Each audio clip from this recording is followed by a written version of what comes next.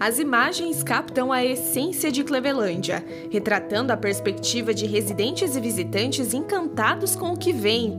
Por meio das lentes, a beleza da cidade é registrada, tornando-se eterna em cada foto.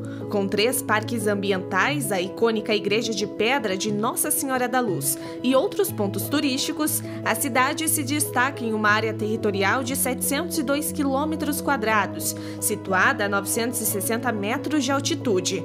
Neste dia 28 de junho, Clevelândia celebra seus 132 anos de independência política e administrativa, quando foi desmembrada de Palmas. A historiadora Alice Kachuk conta como foi o processo de emancipação. A Argentina reivindicava a posse dessa região que pegava a nossa cidade. E para resolver esse litígio, foi convocado, foi chamado como juiz um presidente norte-americano que chamava-se Grover Cleveland.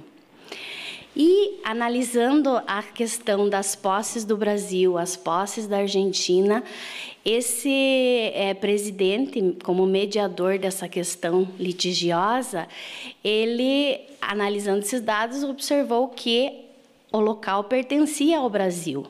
Em nossa cidade, no caso, como quando essa questão foi vencida, homenageou esse presidente, tornando-se Clevelândia. Então, a origem do nome teria vindo dele, de Grover Cleveland, e aí Clevelândia em homenagem a esse presidente pelo litígio vencedor a nosso favor.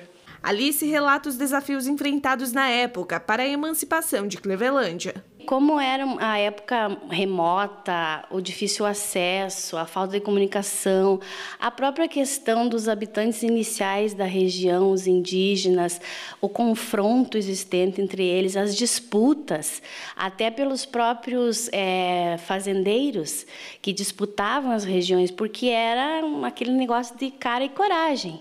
Então, a dificuldade seria também a natureza né, as dificuldades enfrentadas com o clima. Cleveland era uma região muito fria.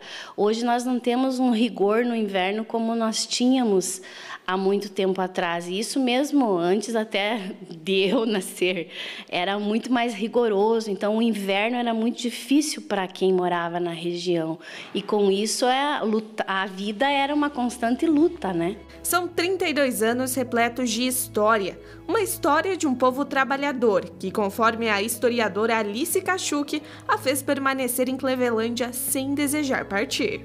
Eu acho que nós somos um povo muito acolhedor, assim, no sentido de que quem vem para cá sempre volta. É como se fosse assim, nós costumamos dizer que quem bebe água em Clevelândia sempre retorna.